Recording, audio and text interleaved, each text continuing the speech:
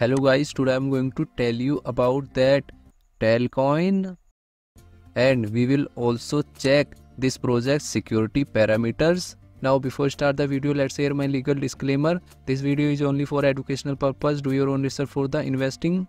The telcoin platform is a user owned decentralized financial platform powered by active telcoin users mobile network operators and mobile financial service provider by aligning telecoms around a user on decentralized financial system.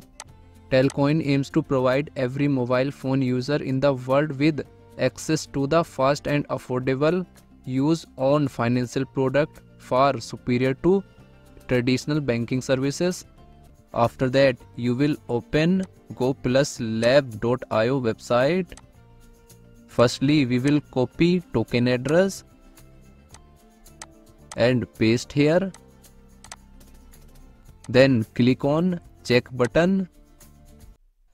So here we can see risky item and attention item. Risky item is 0 and attention item is also 0 now here we can also check top 10 holders liquidity percentage.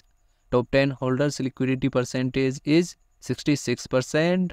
This project token holders is around 47000 and total supply is 100 billion Telcoin. if i share my opinion with you then this project 80% chances is that it is a legit or good project. So guys don't take my opinion as a financial advice. Do your own research for the investing. Thanks for watching